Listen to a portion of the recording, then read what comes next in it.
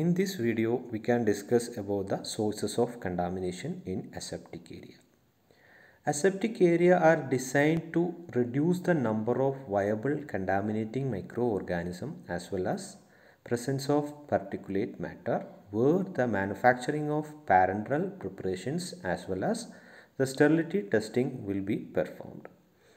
അപ്പോൾ ഇങ്ങനെയുള്ള ഏരിയയിൽ ഏതൊക്കെ റൂട്ടിലാണ് അല്ലെങ്കിൽ ഏതൊക്കെ സോഴ്സിൽ നിന്നാണ് മൈക്രോബിയൽ കണ്ടാമിനേഷൻ വരുന്നത് എന്നുള്ളതാണ് നമ്മൾ ഈ ഒരു ടോപ്പിക്കിൽ ഡിസ്കസ് ചെയ്യുന്നത് first source of contamination is atmosphere usually atmosphere is unable to support the microbial growth but dust particles which carry soil microorganism may present in the septic area.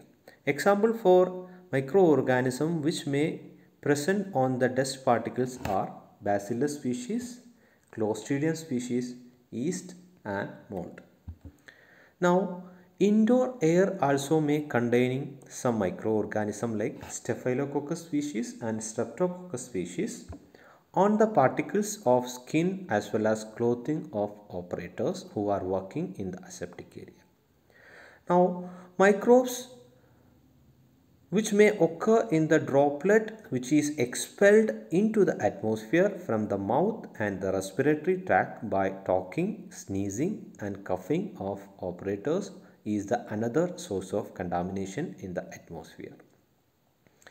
Microorganisms free from the dust particles are commonly found in the indoor and outdoor air. So these are the different sources of contamination from the atmosphere. Let's see another source of contamination that is the operator who are working in the aseptic area.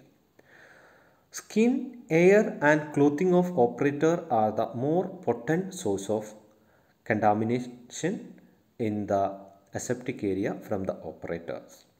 Microorganisms like uh, lipophilic yeast, dermatophytic fungi and staphylococcus are present in the skin of operators.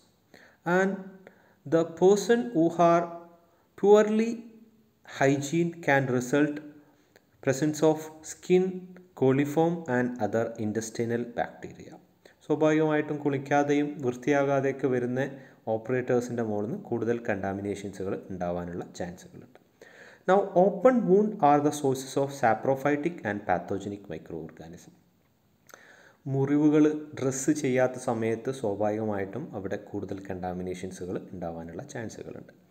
Now nasal passages may containing Staphylococcus aureus ste Staphylococcus albus and Neisseria pharyngitis these are the some examples of microorganism which are present in the nasal passages which may act as a source of contamination from the operator Now let's see next source of contamination that is the raw material which are used for the manufacturing or formulation of different sterile products.